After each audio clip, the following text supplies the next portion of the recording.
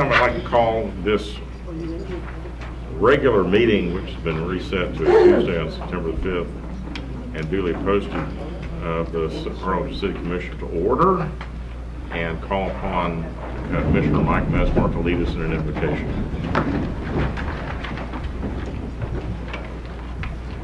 Our Father who art in heaven, hallowed be thy name, thy kingdom come, thy will be done on earth as it is in heaven. Give us this day our daily bread and forgive us our trespasses as we forgive those who trespass against us. And lead us not into temptation, but deliver us from evil. In the name of the Father and the Son and the Holy Spirit, amen. Amen. Please join me in the pledge of allegiance. I pledge allegiance to the flag of the United States of America and to the republic for which it stands, one nation, under God, indivisible, with liberty and justice for all. Welcome everybody to our city commission meeting here tonight. Thank everyone who is uh, helping to support our friends and neighbors to the north who've been so, uh, uh, so much affected by uh, the terrible storm that hit their, hit the Gulf uh, coastal Bend region. This time we'll go right to uh, item number one, which is the presentation of the following proclamations. The first one is a proclamation uh, proclaiming the week of September 17th through September 23rd as Constitution Week. And I'd li- like to ask our representatives of the DAR to come up, Tom- Tomasito Light, Peggy Morris, and uh, Diana Clark- Dana Clark. Come on here.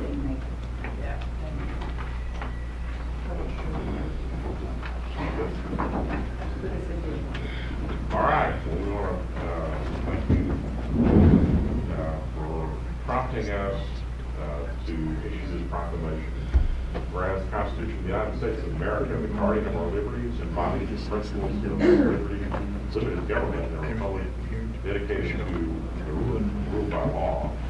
And whereas September 17, 2017 marks the 230th anniversary of the framing of the Constitution of the United States of America by the Constitutional Convention. And whereas it is, it is fitting and proper to accord official recognition to this magnificent document and its mem- memorable anniversary and to the patriotic celebrations which will commemorate it. And whereas public law 915 guarantees the issuing of a proclamation each year by the President of the United States of America designating September 17th through September 23rd, 2017 as Constitution Week. Now thereby, now therefore, I, Chris Boswell, Mayor of the City of Harlingen, do hereby proclaim the week of September 17th through September 23rd, 2017 as Constitution Week in the City of Harlingen. Do hereby ask our citizens to reaffirm the ideals framers of the Constitution had in 1787 by vigilantly protecting the freedoms guaranteed to us through this guardian of our liberties. Yes, thank you. Thank you all for, uh, again, reminding the community of how important it is that we remember uh, what our foundation of our country is based upon and what the rule of law in this country is based upon. And we thank you for for doing that. Congratulations for everything you do. You want to, you want to say that? All right. He said it. All right, thank you very much. Okay.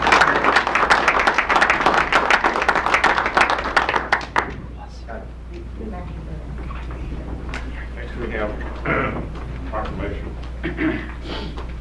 uh, In memory of 9/11, and uh, I'd like to ask Peter Douglas, uh, third, United States Air Force, retired, join me up here as we present the proclamation.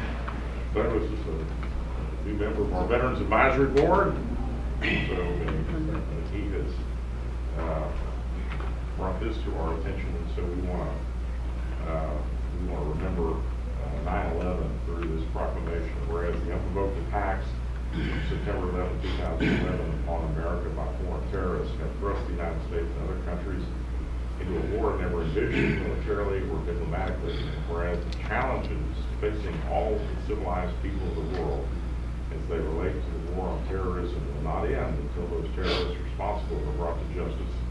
And whereas America is fully committed to ensuring our freedoms remain for all generations, now and forever, whereas world opinion should remain focused on the elimination of these terrorist acts perpetrated around the globe, and whereas one way to accomplish this is to never forget that the innocent victims of 9/11 and of subsequent attacks did not die in vain, and whereas America can fight back by reminding the world of the deaths of many people who died on 9/11 will always be remembered and they will be forever loved. And whereas an appropriate way to accomplish this is through the annual celebration of those living, and whereas this commemoration should be conducted each September 11th through the land to include the promotion of global peace and goodwill, the demonstration of America's resolve and perseverance to win the war for freedom, the advancement of responsible citizenship, the encouragement of patriotism and love of country, and the poignant remem- remembrance of those innocent victims who died September 11th as heroes one and all, be it resolved that I, Mayor, Mayor Chris Boswell of the City of Harlingen, am issuing this proclamation to memorialize those men, women, and children who lost their lives, and be it further resolved that this proclamation be publicized for all to see, and know that the citizens of Park Place Estates of Harlingen remember with eternal respect those whose lives were suddenly, without cause, and pointlessly taken from them on September 11, 2011. May they forever rest in peace and abide in our memories. So I'll present this to Douglas, and uh, thank you for uh, bringing, bringing this to us. I think it's a, uh, improvement. I think it's a nice and fitting that we're presenting both the con- the proclamation on the Constitution and this uh, day of remembrance at the sa- on the same time. Thank you, sir. I, I do want to say that it's not just the Park Place residents, but it is the city of Harlingen, Corinth Baptist Church on the west side that are all uh, together and partner in this effort. So thank you again, I appreciate it. Thank you. And I pray that you all come out 9/11 Monday, 4 o'clock. Uh, It's a buffet to follow after the ceremony and, but please, come on out and share. Thank you, Mayor. All right, thank you. Appreciate it.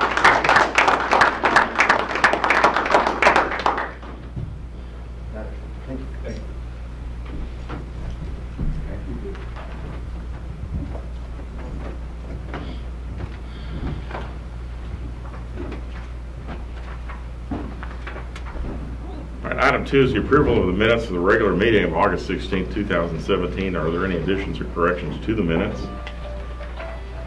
Hearing now, is there a motion to approve the minutes as presented? So motion, Mayor. Second. All those in favor say aye. Aye. Uh, Those opposed, motion carries. On the consent agenda, items 3A through H, is there a motion to adopt the consent agenda? So moved, Mayor. Second, all all those in favor say aye. Aye. Those opposed, like sign, motion carries. Item four, consideration and possible action to approve the police department purchase of 43 in-car mobile video recorders from Watch Guard Video Company for $298,195. Mayor, Commissioners, City Manager, the, I'm Mike Kester, the Assistant Chief. Uh, We are requesting approval to purchase these in-car video systems for each of the marked units in the police department. It'll replace the old system that's been going down for quite some time now and allow us to upgrade and really provide a better service to the community. So I can answer any questions you might have. If the mayor and commission will remember, we had this in next year's budget, we took it out, we're gonna utilize some savings from this year to buy them now. Motion for approval, Mayor. All right. So is there a motion to approve? I- I motion. I'll second that. We have a motion and a second. Any other discussion? All those in favor say aye. Aye. Those opposed, like sign. Motion carries. Item five, consideration of possible action to approve the police department purchase of 23 electronic ticket writers from Tyler Technologies for $92,755.02. Uh, Tyler Technologies is the current vendor for the police department's records management system as well as CAD. They also own the Incode system used by municipal court. So the purchase of these ticket writers, again, updates the old, old equipment that we have and uh, allows us to provide a better service. The other, the option otherwise is to go back to writing hand written tickets, which I don't think anybody wants to. The funds for this one are uh, from a grant, a JAG grant partially. Also uh, municipal court is kicking in almost thirty thousand dollars. And then the rest is coming from the police department's forfeiture funds. So, Motion for approval. I'll second. Okay, we have a motion, second, any other discussion? All those in favor say aye. Aye. Those opposed, like sign, motion carries. Glad we can uh, provide this- these, uh, this equipment upgrades to our departments. Thank you. Item six, consideration possible action to approve a resolution accepting Valley International Airport's adopted budget for fiscal year 2017-18. Art Esterly, welcome. Thank you, Mayor. Uh, Appreciate you, you uh, having me here today. Um, I'm here and delighted to, uh, to issue or, or show you the uh, 2017-2018 budget for your approval. On August of, uh, August 28th of 2017, the airport uh, board had approved this budget. And I'll be happy to go through it, uh, some of the highlights of it, and answer any questions you may have. Um, Up here on the screen is our revenue, and 2017 adopted budget was uh, one, one, six, six million, one hundred forty-three thousand five hundred. Uh, 2018 proposed revenue budget is uh, six million, two hundred seventy thousand. Uh, You can see there from uh, the the line items that actually had the greatest impact on the budget was a parking lot increase uh, down to uh, the small items, uh, hangar, a small hangar increase of $7,000 in re- hangar rental, and uh, number six there, all the other items equaled about $2,600 or $600. On the, uh, the expense side, uh, up there at the top, you can see just over $6 million in expenses. Uh, That was increased in 2018 uh, to 6,189,000. Uh, Those are the items there, one through nine. I'd be happy to go through them uh, line item by line item if you wish, or answer any questions related to those. Those are the top uh, uh, uh, contributing, contributors to the increase in expenses.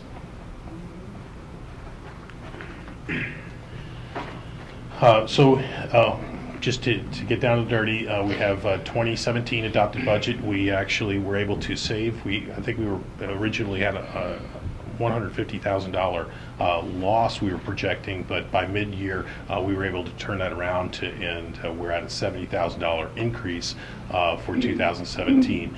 Uh, 2018 proposed income is about 81,000. We have uh, several capital improvement projects uh, from a, uh, some SCBA tanks uh, for the ARFF personnel, uh, also Tymco sweeper, one pickup truck, and some miscellaneous items for Kincaid operators and tractors. So our total capital expenses was 199,000. Uh, We had uh, capital improvements at the airport uh, projected to replace the fan coil units in in the terminal building. This past year, we did all of the the air handler units, and uh, this will complete that project. Uh, We have uh, also looking at doing, with FA's assistance, public flooring, replacing the tile inside the terminal building, uh, looking at some type of terrazzo, an epoxy terrazzo, if we get that far. Uh, We have a reconstruction of the northwest and southwest concrete aprons at the airport. That's an additional 2.5 um, or 3.5 million dollars. Uh, 90% of that coming from FAA and uh, the other 10% coming from PFC. So real quickly, uh, projected cash flow uh, for the year, the few years coming out, 2017, 2018.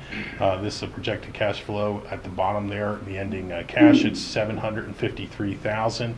Uh, That did include uh, the purchase of uh, the Lynx building that is still in, on- under negotiation, although we're not under contract currently. And uh, so all those numbers projected out uh, there throughout the next few years, you can, uh, you know, add the $1.1 million if in fact we don't close on that particular building. I can answer any questions. Okay, anybody have any questions for Marv?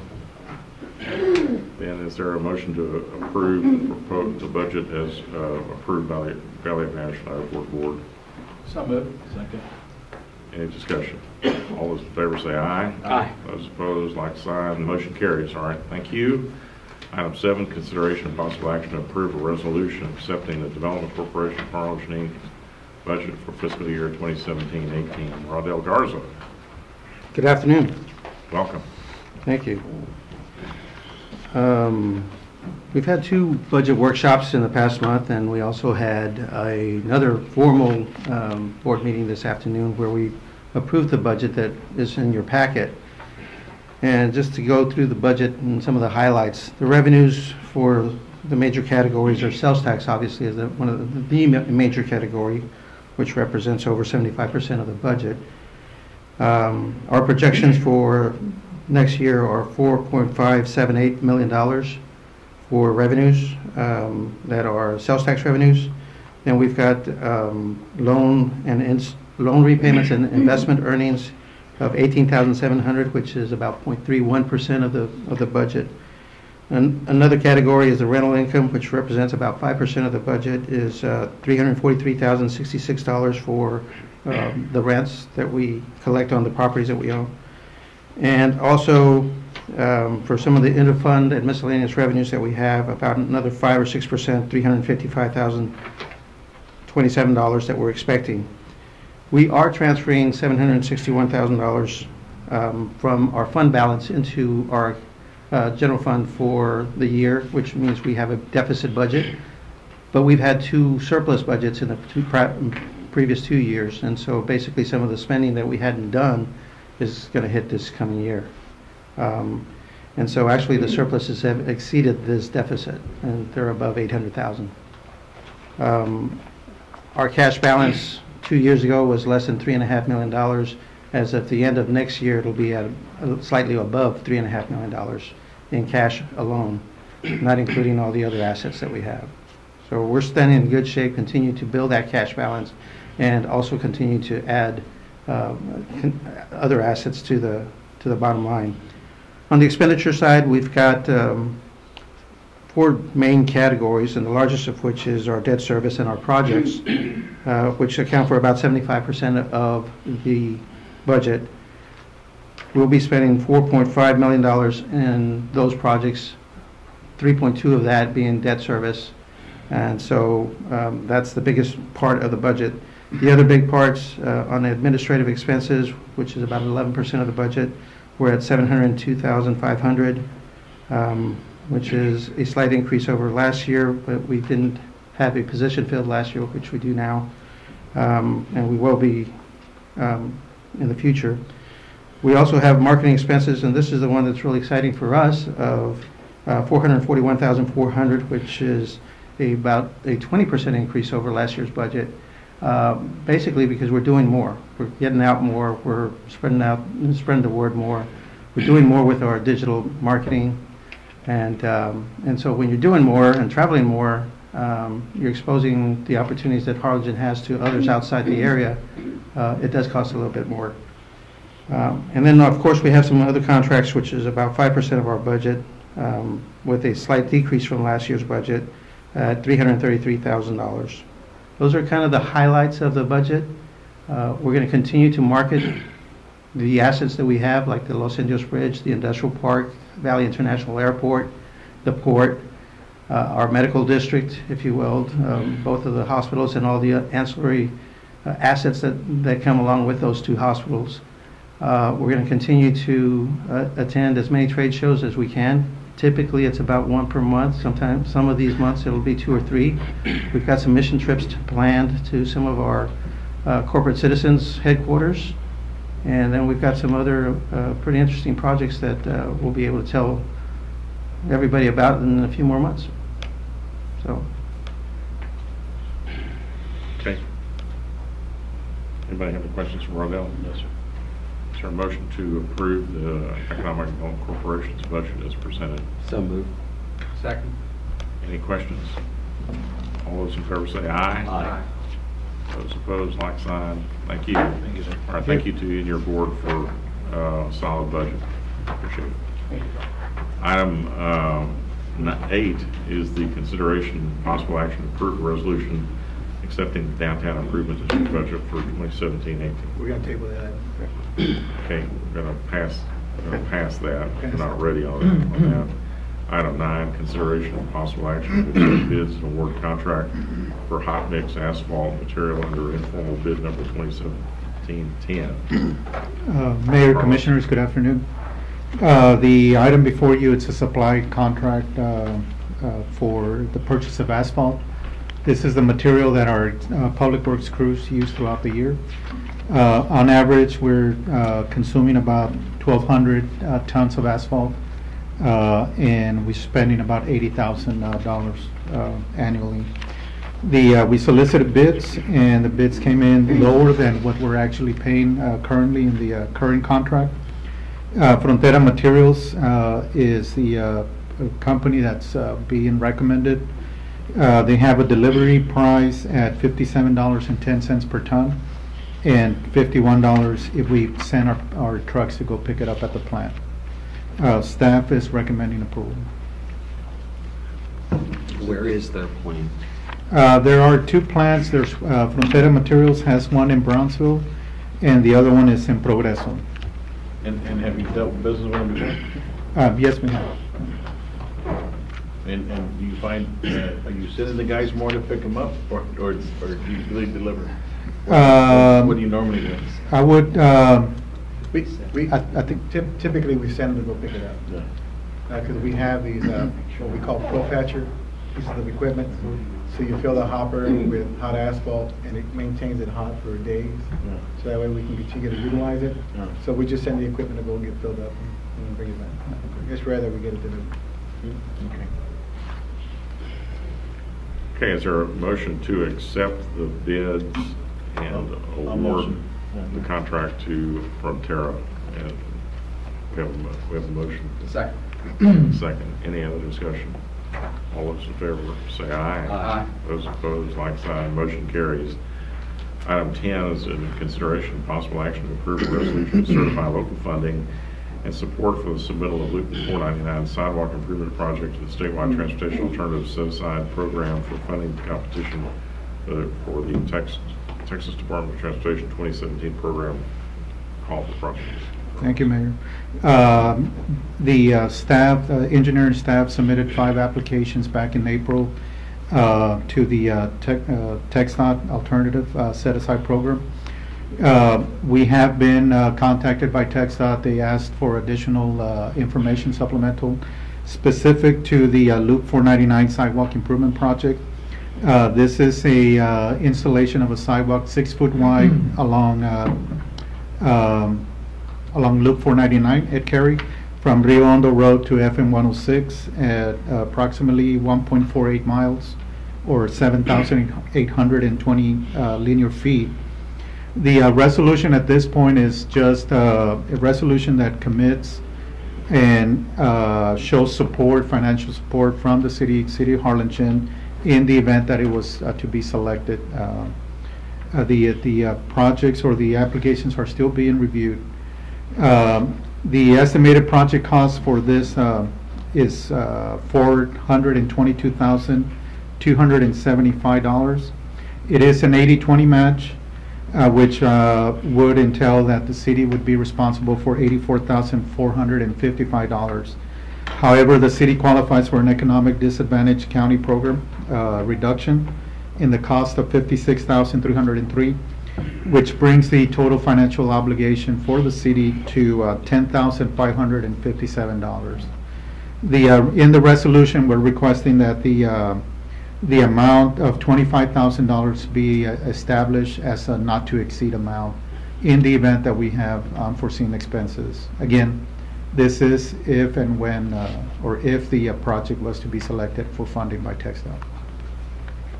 Staff's Okay. recommending approval. This sidewalk uh, picks up, for our walking trail kind of ends there at the, at Harrison and 499. It's uh, from Is that correct? Harrison going uh, north North. To Rio Hondo Road. Yes. And so we'll now have, if this happens, we'll now have a walking trail that takes us all the way up to uh, basically Rio Hondo Road.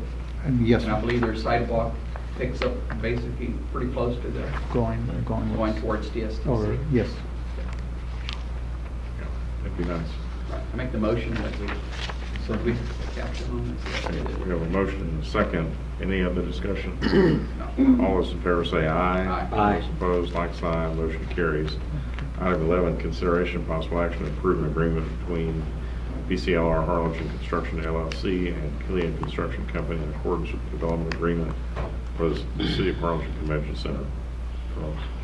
Uh, Subject to the provisions of the development agreement between the City of Harlingen and BCLR Harlingen Construction uh, Limited Liability Corporation.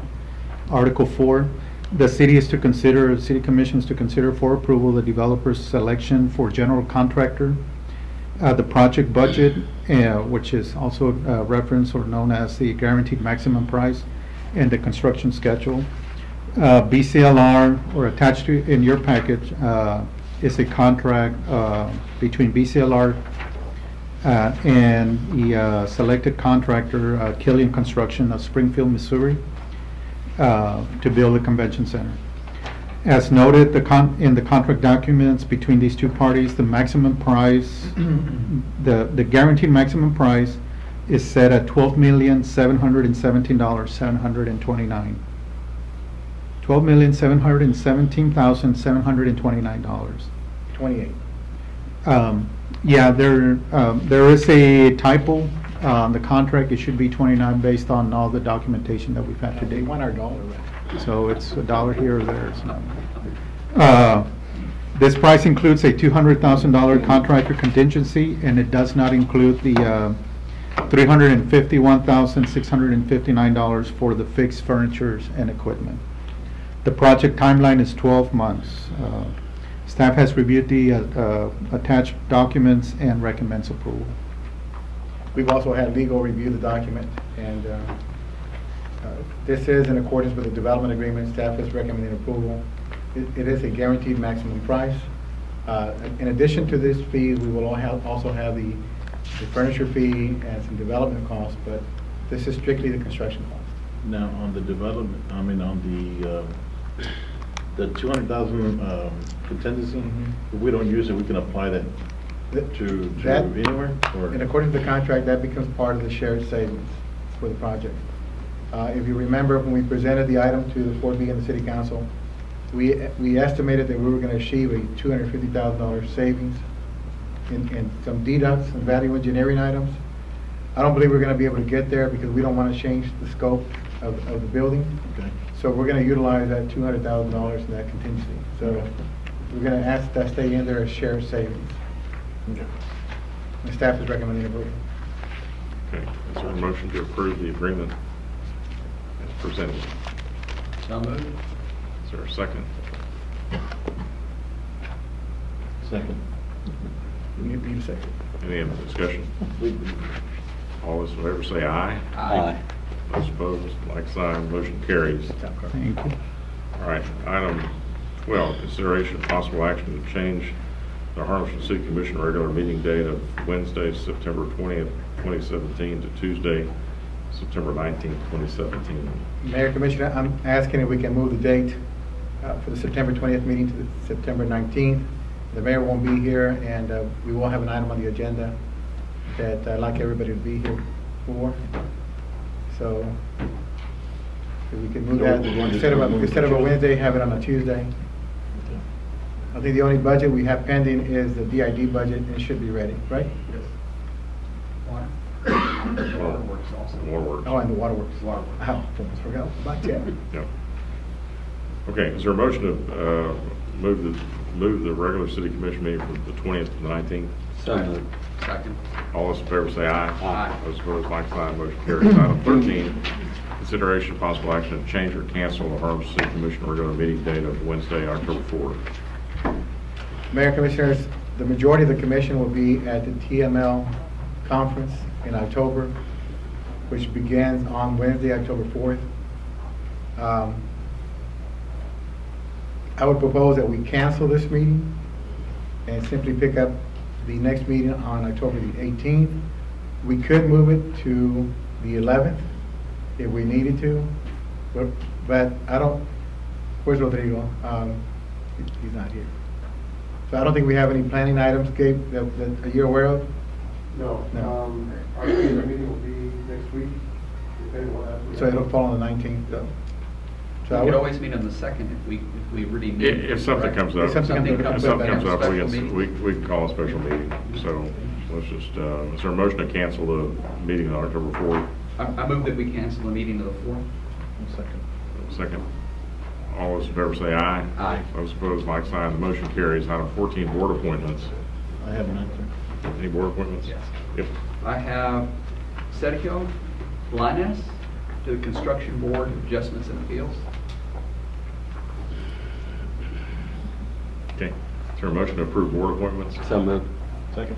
All those in favor say aye. Aye. Those opposed, like sign. Item 15, executive closed session, attorney consultation pursuant to 551.071 Texas Government Code to provide legal advice and counsel in connection with certain collective bargaining issues contained in the notice of intent to bargain by the duly recognized majority bargaining agent of the city's law enforcement officer and Harlingen Police Officer Law Enforcement Association and the Harlingen Professional Firefighters Association. Is there a motion to go into executive session? So moved. All in favor say aye. Aye. Ladies and gentlemen, the commission is going to consult with its attorney in the conference room. Uh, It is possible that there could be action uh, on the last item when we come out. Thank you all.